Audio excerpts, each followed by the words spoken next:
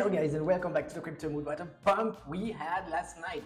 It's time to see what's going to happen on bitcoin and i will give you a new advice for an altcoin to buy to catch the next pump. So make sure you subscribe to the channel if you want to have this kind of content on a daily basis guys. Let's go and roll the title Hey guys, I'm super happy to see you again today. We are going to check our Bitcoin chart and what we had last night was a crazy pump. But where are we going from here guys? Where are we going from here?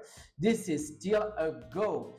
Uh, why? Because um, we had a moving average ribbon and that is really sustaining the price. The volume is super significant and relatively stable. There is no really uh, huge peak. I mean, it's really going well for us. The RSI is approaching the overbought territory but has not crossed it yet. So we still have an upward momentum. And the VIX, yes, there are some green highlights uh, but it could suggest at this moment that we are increasing the volatility and potential of buying interest. Overall, I would rate this chart a 7 or an 8 it means Bitcoin is much probably going to go higher. So now what is my outcome of the day guys? If you didn't subscribe to the channel, please do it now because that will make me, give me the will to do a video every day. I'm back on YouTube as you can see. Also, you want to trade now? Just don't go on any other exchange. Go on Bybit. Binance is a little bit screwed up right now. There's been some fuss about FTX obviously.